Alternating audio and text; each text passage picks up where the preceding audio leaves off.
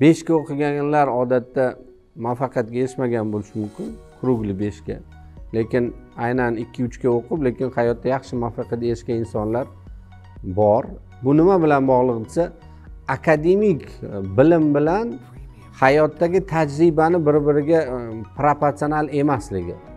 Akademik bilimlaringiz qancha yuqori bo'lsa ya'ni yaxshi institutlarda yaxshi universitetda beshga o'qisangizu lekin o'zingizni o'sha bilimlaringizni hayotga tadbiq qilib hayotda o'shani e, kashf eta olmasangiz o'zingiz talant ya'ni monetizatsiya deydi. U bilimlaringizni pulga aylantira olmasangiz baribir siz o'sha e, boyagi ikki uchga o'qib turib lekin u o'zini e, hayotda maksimal sinab ko'rib maksimal harakatini to'xtatmay riskovatlar qilib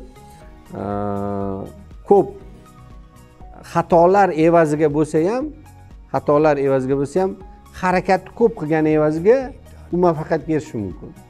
Lekin bilimlaringiz kuchli bo'lgani bilan siz agar qo'rqsangiz riskovat qilmasangiz o'sha bilimlarni ishlata bilmasangiz muvaffaqiyatga erishmasligingiz mumkinda.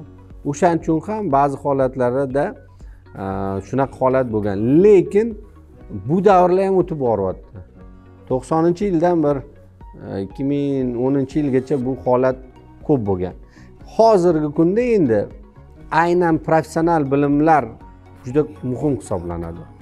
Ham ikkiga uchga o'qigan bolalar hayotda zo'r o'rnini topib ketadi muvaffaqiyatga erishadi degan bugungi kunda bu talabga javob bermaydi. Bugungi kunda yaxshi bilim yaxshi bilimni e, zamonaviy bilimlarni olmaslik bilan e, hayotda o'rningizni topishingiz qiyin ancha.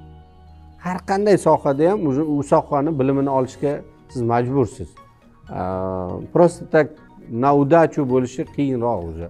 Chunki zamon talab э, уже hayotdagi nima deydi talab va takliflar o'zgarib boryapti. Shu nuqtai nazardan mm, oldinlarida bo'lgan shu narsalar biz o'zimiz ham ko'p ko'rganmiz. Более shunaqa bolalar riskovniy bolalar bo'ladida. Riskovat qilishga qo'rqmagan bozor bo'sh bo'lgan o'xshagan muvaffaqiyatlarga erishgan.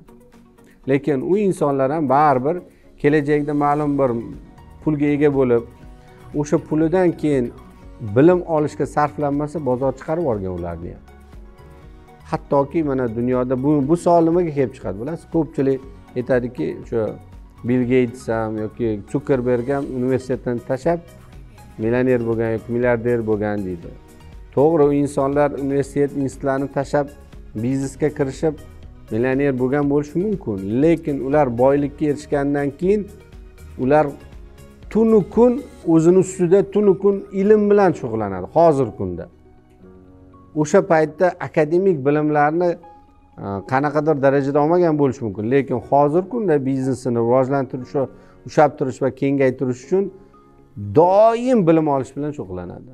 U odamlar bilim olmagan emas deyolmaysizda baribir muvaffaqiyat belgisi va zaminida professional bilim yotadi